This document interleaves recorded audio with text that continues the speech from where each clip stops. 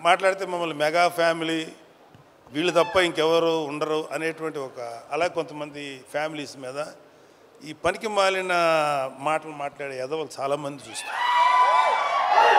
మాకు అలాంటి ఫీలింగ్ లేదు. సినిమా ఇండస్ట్రీ మా అబ్బ సొత్తు కాదు.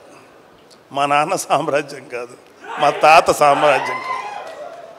అలాగే అల్లు మన అక్కినేని గారి ఫ్యామిలీయో నందమూరి ఫ్యామిలీ సామ్రాజ్యం అది అందరిది ఇది. సో ఇవాళ అడవిశేషు గారు లేకపోతే ఎంతోమంది యంగ్స్టర్స్ ఫిల్మీ ఫ్యామిలీ సంబంధం లేకుండా దే ప్రూవ్డ్ వాళ్ళకి ఎవరు వచ్చారు? వాళ్ళ వాళ్ళ టాలెంట్స్ వాళ్ళ పైకి వచ్చారు.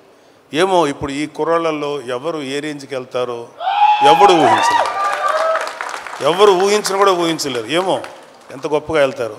ఎందుకంటే ఇవాళ ఒక్క సినిమా ఒక సినిమాలే కాదు ఎన్నో ఓటీటీ ప్లాట్ఫామ్స్ ఉన్నాయి. వాటిలో దేంట్లో వచ్చినా అద్భుతమైన పేరు వస్తుంది. సో ప్రతి వాళ్ళు ఒక ఫస్ట్ ఏంటంటే ఒక మంచి కంటెంట్ ఉన్న సినిమాకి కథ ఉన్న సినిమాకి ట్రై చేయండి. అంతేగాని ఒక గుద్దు గుద్దితే ఆడెక్కడికో వెళ్ళిపోయి కొట్టేసుకొని మాట్లాడితే హీరోయిన్ కనపడగానే గబగబా డ్యాన్స్ చేసి ఇలాంటి కథలకు మాత్రం మీ యంగ్స్టర్స్ ఎవరు అట్రాక్ట్ అవ్వకండి. కంటెంట్ ఏంటో చూడండి. ఆ విషయంలో నాకు శేషు నచ్చుతాడు అండ్ వరుణ్ బాబు నచ్చుతాడు. ఈ మధ్యన మా తేజు నచ్చుతున్నాడు.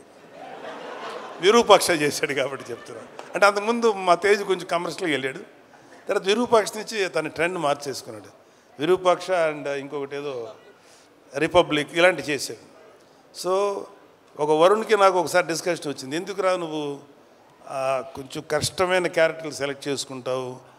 చాలా కమర్షియల్ సినిమాలు చేయొచ్చు కదా అంటే నాన్న ఒక వంద సినిమాలు రిలీజ్ అనుకున్నానా అందులో ఒక పది సినిమాలు కొంచెం డిఫికల్ట్గా అంటే కొత్తదనంగా ఉండే ఉంటాయి.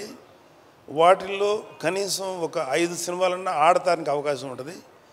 తొంభై సినిమాలు రెగ్యులర్ కమర్షియల్ సినిమాలు ఉంటాయి. ఈ తొంభై సినిమాల్లో ఒక పదో పదిహేను ఆడతాయి. మరి ఎక్కువ ఆడుతున్నాయి కదా అన్న కానీ రేషియో చూసుకున్నాను తొంభైలో పదో ఏమో ఆడతాయి. ఇక్కడ పదిలో ఐదు ఆడతాయి కాబట్టి ఎప్పుడు కూడా ఒక కొత్తదనం కోసం వెళ్తేనే యాక్సెప్ట్ చేస్తానని చెప్పి అది నాకు చిన్నవాడైనా వాడిచ్చిన రియలైజేషన్ అలాగే నిహారిక అంటే కొంచెం సెల్ఫీ కొంచెం సెల్ఫీ వేసుకోవాలి కదా నా పిల్లల గురించి. తప్పదు. ఎవరు సెల్ఫ్ వాళ్ళు వేసుకున్నారు. ఇక్కడ మన డబ్బా మనమే కొట్టుకోవాలి కదా. ఏదో గుర్తు రావక్కర్లేదు నేను సీరియస్గా అంటున్నా నిహారిక మై స్వీటెస్ట్ కిడ్. ఎంత స్వీటెస్ట్ అంటే ఇలాంటి చిన్న పిల్లప్పుడు ఒక మూడేళ్ళు ఆ టైం ఉన్నప్పుడు ఇంకా స్టార్ట్ అవుతుంది కదా నాలుగేళ్ళ తర్వాత ఐదేళ్ళ తర్వాత అమ్మ ఇండిపెండెంట్గా పడుకోండి అంటే ఆ బెడ్రూమ్లోకి వెళ్ళి పడుకునేది పడుకున్నట్టు పడుకునేది వాళ్ళ అమ్మ వంటింటికి వెళ్ళాక సైలెంట్కి వచ్చి నేను ఇక్కడే పడుకుంటాననేది. సరే అమ్మ మరి మీ అమ్మ తన్నేసి బయటికి పంపుతుంది కదా. అమ్మ చూడకుండా దాచిపెట్టానది అప్పుడు నా షర్ట్ తీస్తే షర్ట్ లోపల దాక్కునేది అప్పుడు ఇంత ఉండేది కదా ఇంతే ఉండేది. దాక్కొని పడుకొని పద్మ వచ్చేది "ఏయ్, ఎక్కడుంది ఏ దాని తెలుసు. పడుకుంది. పద్మ లేదు పద్మ ఇక్కడ అని చెప్పాడు. ఇలాగేదో సో సో ఒకటే చెప్తున్నాను. ఇప్పుడు ఇందాక ఒక పాప ఎవరో ఎమోషనల్ అయ్యింది. ఇవాళ మన కళ్ళ ముందు ఆడపిల్లలు ఎంత గ్రోత్ చూపిస్తారు ఎంత గొప్పగా ఎదుగుతారు అనేది మన సుమ. నాకు తెలిసినంత వరకు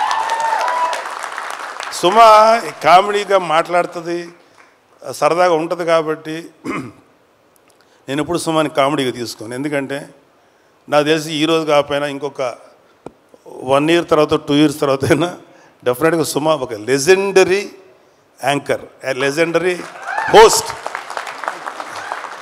Suma చాలా గ్లామరస్గా స్టైలిష్గా ఉండదు. సుమ ఎక్కువ ఏమన్నా కానీ సుమ స్టేజ్ ఎక్కిందంటే దుమ్ము దులిపేస్తుంది. నేను చూసిన తా సుమ ఉందా? పర్లేదు కొంచెంసేపు మనకి టైం పాస్ అవుతుంది అని. అలా ఉంది. సుమ జబర్దస్త్ వాళ్ళ అదృష్టం ఏంటంటే అప్పటికి జబర్దస్త్ వాళ్ళు రాకముందు సుమ ఇండస్ట్రీకి వచ్చింది. సుమ జబర్దస్త్కి రాకుండా చాలామందిని కాపాడింది. అంత గొప్ప అంటే ఆడవాళ్ళలో అంత కామెడీ ఉంటుంది అనేది నాకు ఊహ కూడా అందలేదు సుమాన్ చూసిన తర్వాత అమ్మ తక్కువ వాళ్ళు కాదురా బాబు. అలాగా ఆడపిల్లలందరూ కూడా జస్ట్ బ్రేక్ యువర్ చైన్స్. ఎవడు కూడా మిమ్మల్ని ఆపడానికి ట్రై చేస్తే మాత్రం మీరు ఆకండి prove yourself. The world is yours. ఈ ప్రపంచం మగవాళ్ళది ఒక్కడిదే కాదు ఆడపిల్లలది కూడా. మీది కూడా. అలాగే ఆడపిల్లలు కూడా ఒకటి గుర్తుపెట్టుకోవాల్సింది ఏంటంటే లిమిటెడ్ థింకింగ్లో ఉండకండి. అమ్మో వాడికి వెళ్తే ఆయన ఏమంటారు? లేదు సార్ ఎవడి కోసం ఎవడు భయపడక్కర్లా. You only, you're all in safe hands.